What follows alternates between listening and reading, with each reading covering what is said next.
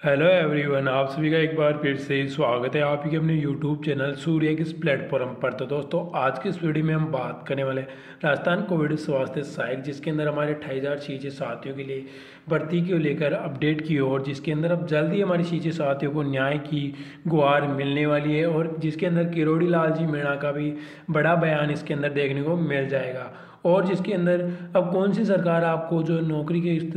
नौकरी की अपडेट देने वाली है, जिसके अंदर बात करने वाले हैं कि बिग अपडेट क्या आपको देखने को मिल जाएगी। तो भाई आपको क्या करना है वीडियो को जो कंप्लीट वॉच कर लेना है, ताकि जो पूरी इन्फॉर्मेशन जो आप तक मिल सके और आप जो हमारे किसी भी जो अपडेट से वंचित ना रह पाएँ। और आपको हमारा वीडियो थोड़ा सा भी अच्छा लगे तो वीडियो कर देना लाइक और चैनल पर पहले आप विज़िट कर रहे हो तो वह चैनल को प्लीज़ सब्सक्राइब कर देना और बेलाइकनों कर देना ऑल पी सेट ताकि जो नई नई अपडेट आप तक मिल सके और आप जो हमारे किसी भी जो अपडेट से वंचित ना रह पाएँ। तो भाई देर ना करते हुए चलेंगे अपडेट की और क्या अपडेट आपको देखने को मिल जाती है, जिसके बारे में भी कुछ बातचीत कर लेते हैं, जिसके अंदर आप देख सकते हो कोविड के दौरान अपनी जान की परवाह किए बिना कोविड स्वास्थ्य सहायकों को नौकरी से निकाला गया है और उनको अपवा उपहार के रूप में बजाय लगभग अट्ठाईस हज़ार परिवारों के साथ धोखा किया गया है और आज तक उनके साथ न्याय नहीं हुआ है। जिसके अंदर हमारे सीजे जिसके अंदर हमारी शीजी साथियों के साथ किरोड़ी लाल जी मीणा उपस्थित हैं और अब इनको जो है पूरा विश्वास दिला रहे हैं कि हम आप सरकार में आए तो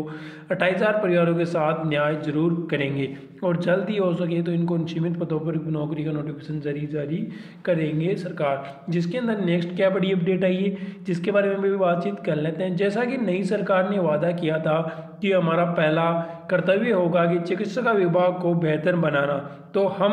नर्सिंग स्टाफ नवरी समिति सरकार से अनुरोध करते हैं कि शेजो पेपर की पूर्णता लीक हुआ, रेडियो की तरफ़ घंटा बटा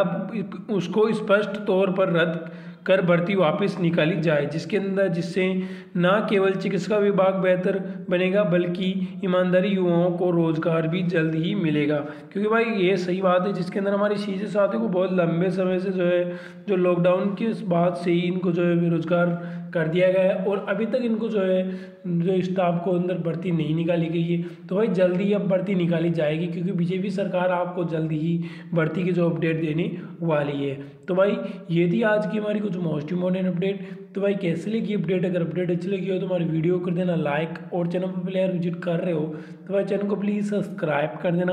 और बेल आइकन कर देना ऑल पे सेट ताकि जो इसी नई नई अपडेट आप तक मिल सके और आज हमारे किसी भी जो अपडेट से वंचित ना रह पाए। मैं आपके लिए रोज़ ऐसे ही वीडियो लाता रहता हूँ, ऐसे ही